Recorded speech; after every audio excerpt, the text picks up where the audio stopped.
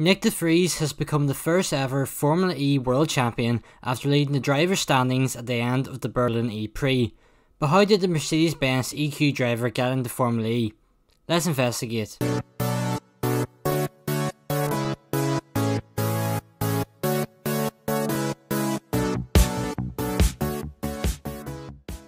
Hello everyone, my name is Richard Smyth and welcome back to the Apex Motorsport where today we're taking a look at the Dutch sensation Nyck de Vries and how he climbed up the motorsport ranks to eventually become a world champion.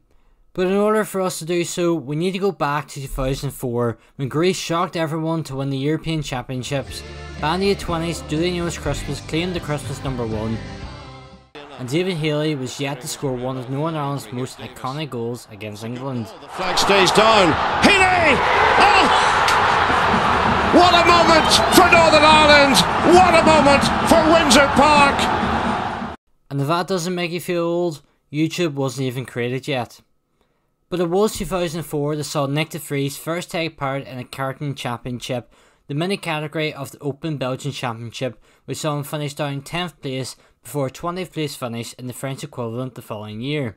2006 was the year the de Vries started to become quite competitive in karting, and while Fernando Alonso was claiming the second Formula 1 world title and Leona Lewis was claiming the Christmas number 1, Nyck de Vries was finishing as runner-up in the cadet category of the Belgian Championship. 2006 also saw de Vries claim third place in the junior category of the Dutch Championship.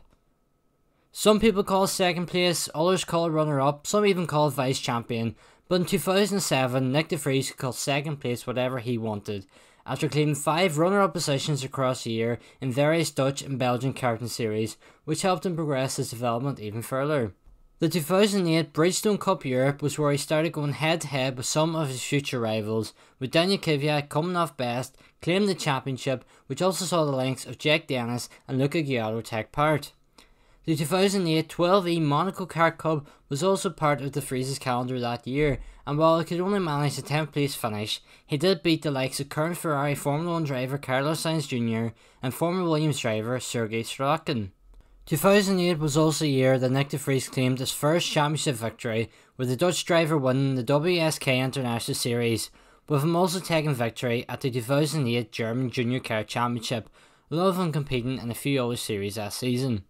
In a busy 2009, he retained his German Junior Kart Championship and also took victory in the CIK FIA European Championship, which also saw De Vries beat both Sainz and Kvyat to the title. Kvyat did get the better of De Vries in the Andrea Margutti Trophy, but that didn't stop De Vries from retaining his WSK International Series crown ahead of the Russian driver in Sainz. Alex Albon was also competing in this series alongside Esteban Ocon. De Vries had different competition to contend with in 2010, with Jordan Chamberlain being his biggest rival for the CIK FIA World Karting Championship. It was Vries, however, who came out on top, and he was able to retain his crown once more in 2011, beating Alex Albon to the title. 2012 was the year De Vries would make the step up to single-seater racing, and he started this part of his career off strong with a 10th place finish in the Formula Renault 2.0 NEC, which was won by Jake Dennis before a fifth place finish in a very competitive Formula Renault 2.0 Euro Cup. This championship was full of drivers who would eventually race in Formula 1 and Formula E, with Stoffel Vandoorne, Daniel Kvyat, Oliver Rowland and Norman Nato all finishing ahead of de Vries, and there were some impressive drivers further down the standings as well, with Pierre Gasly, Jake Dennis, Jordan King, Esteban Ocon, Nick Cassidy and Alex Albon all taking part. 2013 would see De Vries finish in 5th place once again in the Formula Renault 2.0 Euro Cup, this time won by Pierre Gasly. He would also claim 8th place in the Alps edition of the series before taking victory in both the Euro Cup and Alps series in 2014. 2015 would see Nyck de Vries make the step up to Formula Renault 3.5 and would end the championship in 3rd place before getting a seat in the GP3 series for 2016. He entered the championship with ART Grand Prix and would finish in a solid 6th place with Charles Leclerc winning the title ahead of Alex Albon.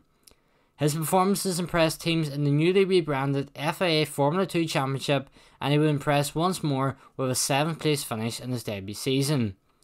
2018 would see him make even more progress with a 4th place finish, the highest finishing driver not to make a step up to Formula 1 for the following season, with Alex Albon moving to Toro Rosso Lando Norris moving to McLaren, and George Russell getting a seat at Williams.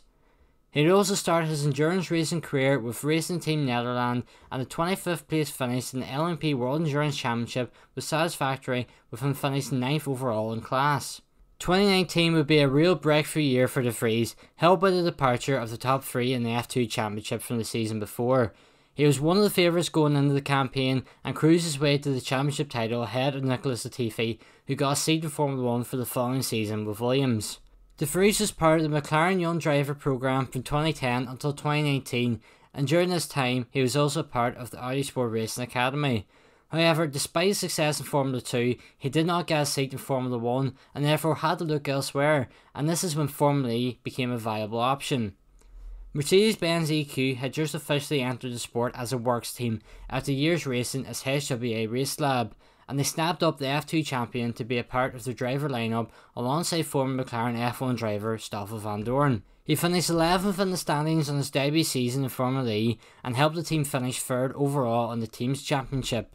He took part in the Formula 1 Young Drivers Test at the end of the 2020 season, which also saw young drivers Fernando Alonso, Sebastian Buemi, and Robert Kubica take part.